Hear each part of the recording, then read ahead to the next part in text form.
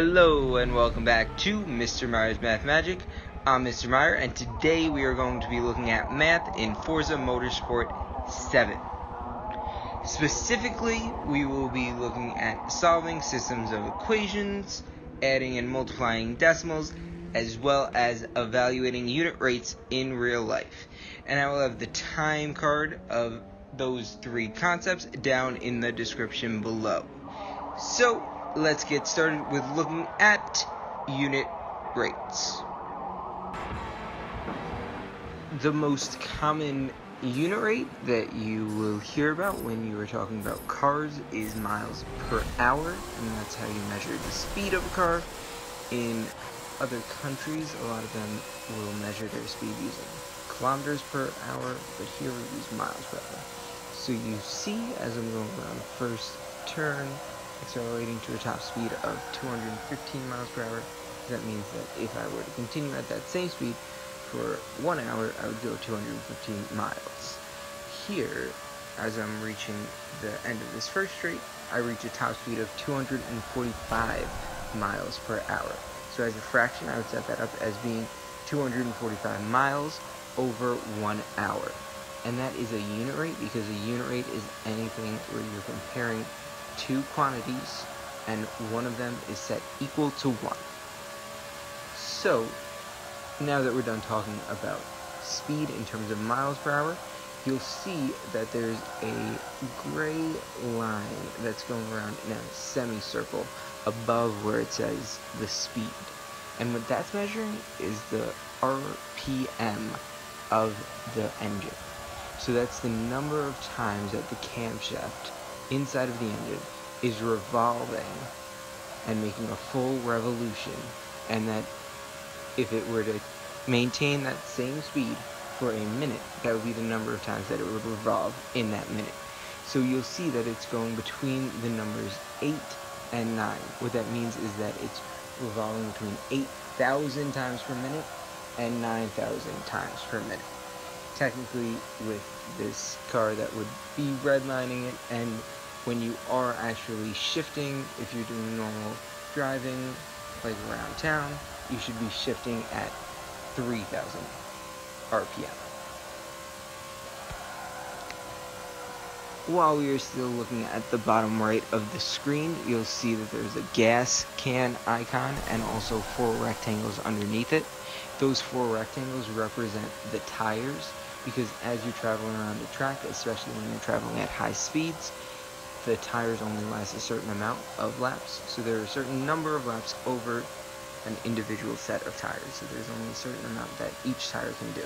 And this track that we're on is the Daytona track, and that is where they do the Daytona 500 in NASCAR, and those are vehicles that are traveling between 200 and 250 miles per hour if you were ever to see that race, you would notice that they go into the pit. That's right there on the left of the screen right now in order to replace their tires, and they need to do that frequently because of the fact that they're traveling at such high speeds.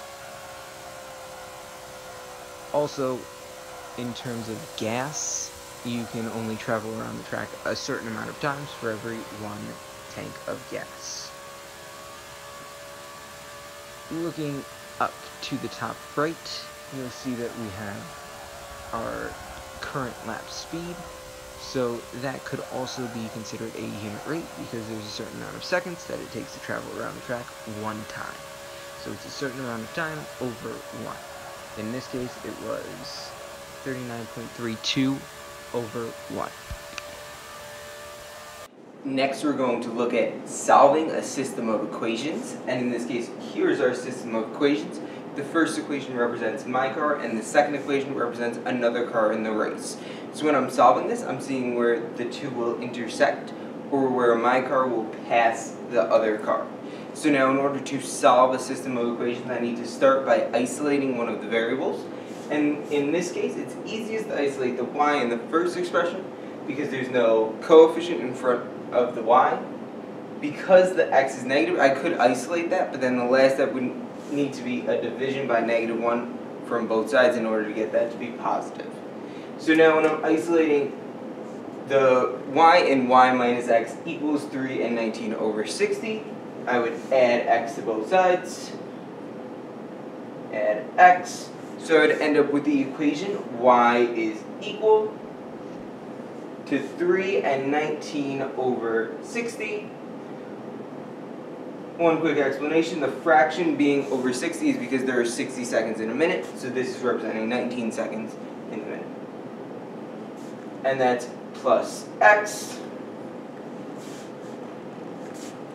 So now, because I know y is equal to 3 and 19 over 60, what I can do is I can take that and plug it in for the y of the second expression because when I'm plugging that in, then all I'll have is one variable x, and I'll be able to solve for x. So after I plug this in, it ends up being 3 and 19 over 60 plus x, and then I take everything else that was still left in that expression, so minus 14 and 41 over 60 is equal to negative x. So now in this expression I only have one variable, x, so I'm able to combine like terms and solve for x. So on the left side, the first terms that I would combine are the two whole numbers, so 3 and 19 over 60, and negative 14 and 41 over 60. And when I'm combining these, because one is positive, one is negative, I subtract. Ends up being 11 and 22 over 60. Still have the x, so it's plus x is equal to negative x. Now I need to bring the x over to the right side by doing opposite of minus x, plus x, which is minus x, minus x. So because I have negative x minus x, that's negative 2x. So 11 and 22 over 60 is equal to negative 2x. And then when I divide by negative 2, and this 11 was negative, just because the 14 was negative, so that kept that value, I get 5